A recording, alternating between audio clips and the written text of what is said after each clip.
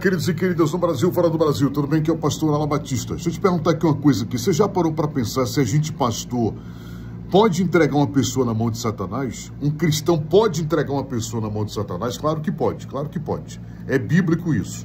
Uma pessoa que é caluniador, é difamador, é blasfemador, você pode se entregar essa pessoa na mão de Satanás. E eu, eu, pastor Alan Batista, quem me conhece sabe muito bem disso. Eu dou minha vida pelas pessoas. Agora, a minha paciência é zero. A minha paciência é zero com esse tipo de gente. Blasfemador, caluniador, é, é, feiticeiro, é, é, é, é sabe? Quando eu vejo um feiticeiro que ele está ali, mas ele não é blasfemador, ele não é caluniador, ele não é difamador, né? que ele não tem conhecimento ainda com Jesus, a gente até releva. Agora, a partir do momento que é caluniador, difamador e blasfemador, essa pessoa está entregue a Satanás. O próprio Satanás que ela serve, uma hora ele vai armar um arapu que a pessoa vai cair. Se a pessoa não, não, não morre, acontece uma tragédia. Fica em estado terminal, fica é, vegetando.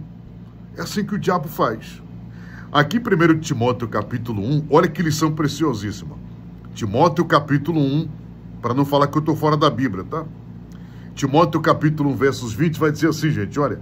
E dentre esses se contam Remineu e Alexandre, os quais entreguei a Satanás para serem castigados, a fim de não mais blasfemarem. Ponto.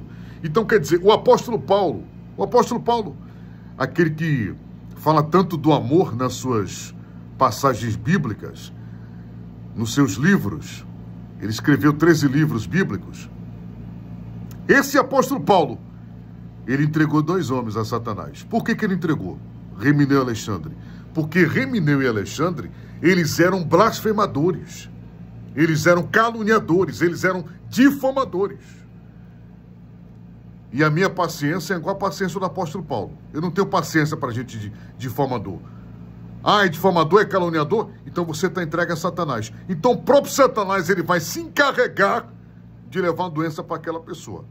E sempre caluniador, difamador, você pode saber. Você pode saber, morre do câncer.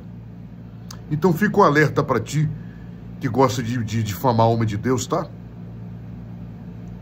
Fica um alerta para você que gosta de difamar cristão, uma mulher de Deus, um homem de Deus. Eu não tenho paciência.